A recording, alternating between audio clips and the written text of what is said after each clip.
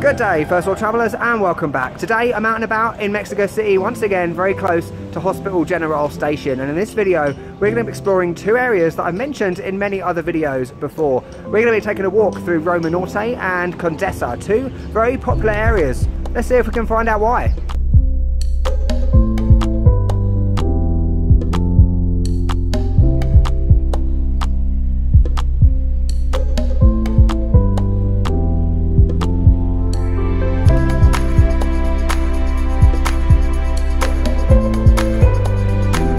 So welcome to Roma Norte. I'm going for a little bit of a walk today to show you two areas rather than just the one. And the reason I'm doing this is that they're often both grouped together, Roma Norte and Condesa, for some reason, at least for people like me, tourists. And on that point, at the beginning of this video where I said that it's a popular area, Mexicans might disagree with me on that because what I mean by that is it's very popular for people like me, people that are traveling, working online, digital nomads, it's a really popular area to live because it's very nice, basically. It's a, it's a more safe area, I suppose, of Mexico City and it's more desirable, I would say.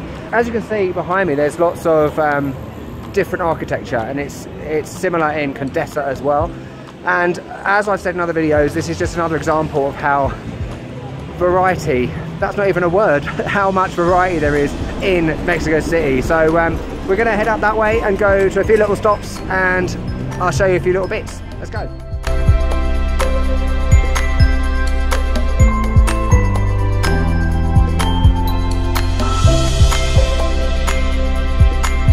And also, from what I understand, Condesa and Roma were very popular with Mexicans back in the day, particularly more affluent people and also the Jewish community. The problem was that in 1985 there was an earthquake, big earthquake in Mexico City, and it caused a lot of damage basically, and that meant that the people who lived here moved basically. So the Jewish community firstly moved to Polanco and then places like Lomas de Chapultepec.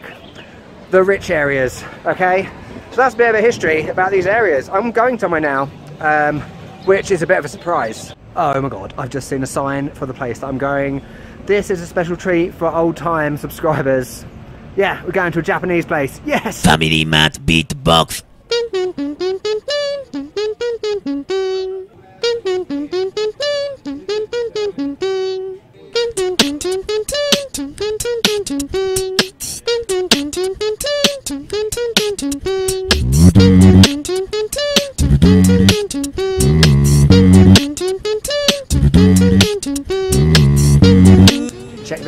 We're back in Japan. Pocky chocolate banana. Yes, we've got miso soup behind me, we've got cup noodles over there. Legendary Momofuku Ando. For those of you that watch my Japan videos, these are 60 pesos, which I can't remember how much that is in dollars, but I'll put it on the screen. But I think it's substantially more expensive than it would be in Japan. Remember Family Mart, 7-Eleven, you get things, you know, the curry pan, they're up there but it says like cheese croquette. I don't know if it's the same thing. I don't think it's a curry one. This is amazing. Wasabi peas as well. There's so many things that I remember. Um, I could literally have a meltdown right now. Okay, I avoided having a meltdown. This place is called Mikasa, and I got Pocky. This is very difficult because I have no hands. Where's my sexy blonde girl girlfriend? I just dropped it on the floor. So yeah, croquette thing and also a salmon and cheese thing too. Um, I had a bit of a strange experience saying arigato gozaimasu to someone who was Mexican, but it was slightly strange. And I've just noticed as I came outside, there's like a food area to eat. You can have okonomiyaki. If you want to check out proper Hiroshima okonomiyaki, I'll, I'll link the video out up above. Sorry, I can't speak. I'm too confused because of the actual Japanness. Wonderful. I feel violated. Obviously it's not going to be like Japanese food, authentic Japanese food, but that was diabolical. I might be able to do that again. The um, croquette thing, you know, when I think of that, I think of breaking open one in Family Mart and it's full of curry stuff, you know, but that was all full of potato and cheese and, you know, Mexican cheese and it has, it's like Japanese food with a Mexican twist basically, but I'm sure the um, actual cooked food is better, but I, am not going to try the Okonomiyaki here purely because I don't want to destroy the memory of it from Japan. But, you know, this is a nice place to come, especially if you do like Japan, and it makes me feel like I'm at home again. oh, God, take me back. Anyway, I've got the pocky to eat, so that's right. Right, one thing I'm noticing about Roma is the amount of greenery, which I knew anyway, but this building up here, which I'll show you now, is, it looks like a car park, but it's got greenery like pouring off it. And I've read somewhere that this is done in Mexico City to uh, aid pollution or you know reduce the effects of pollution because photosynthesis yes i have a gcse in science. Um, it breathes more oxygen into the air. So um, you know if you can clarify this because i'm not sure clear it up in the comments as always. Thank you very much. Now i don't know when this video turned into a reminiscing about old videos video but it's happening. So another thing that i've done before is visit pripyat in Chernobyl, Ukraine, you know, the power station, and I spent the day clambering up abandoned buildings. And as you can see behind me, there's lots of graffiti, lots of what looks like abandoned buildings. And as I said earlier, as a result of the earthquake in 1985, a lot of these buildings were abandoned. And this one in particular is probably the most famous one. It's called Condominio Insurgents, Insurgentes, I don't know. Basically, I believe it was like a residential building, apartment building that was abandoned as a result. And I've seen videos where people actually go in there and explore. Um, but since then, I believe that the bottom few floors have been refurbished. So um, it's an abandoned building. So exciting. Let's go and look around. Okay, so I'm at the base. You can clearly see down the bottom that there are what look like shops that are operating. It does look a bit dilapidated still. Um, and if we go up there, I don't know if you can see. Yes, you can. The top floors look very much still abandoned. So there's smashed windows. It looks like a hellhole. Um, there was on the side of this building a huge neon sign. It was called, I think it was called the Canada Building because on the sign it had Canada on it. And just there in the middle of the screen where it says TES, that's cool. It's old, uh, old writing, text, signage that's buried behind those trees. Um, that's the sort of thing I love. It's all overgrown. You've got the columns up there. How cool is this? And there, there are, I've read online that there are talks, well, calls to rip this building down because it's dangerous. Right, I've walked around the back to this hellhole area. There's a sign on the wall. I've Google translated it. It says something about going to an office between 10 and 6. It was two years ago. That office is probably vanished by now. I don't know, and these doors, no obstruction, locked. I'm going to continue. So I found the way in, back there, but even though there's a staircase, I could have easily slipped up the staircase, but there's security everywhere. I don't really want to get arrested for trespassing and thrown in a Mexican jail, so you'll just have to have to imagine what it's like up there.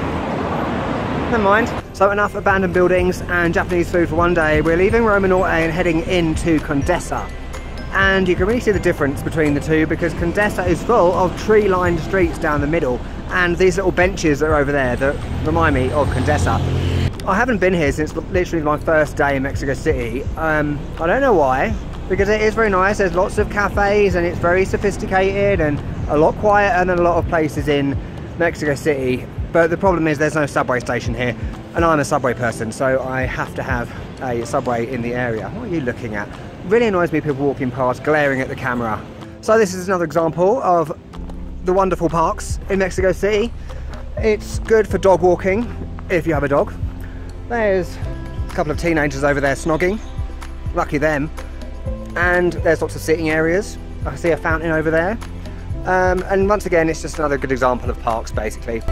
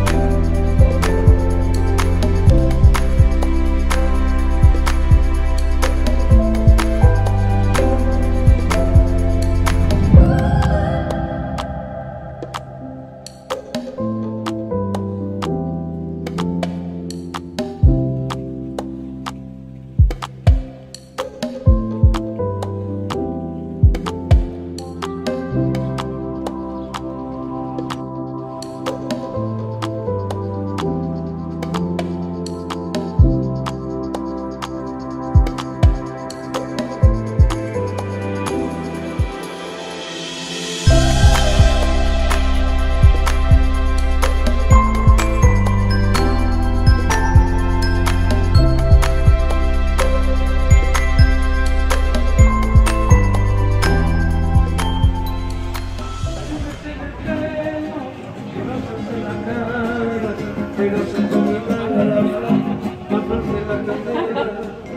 here we are in Condesa. Here's a typical example.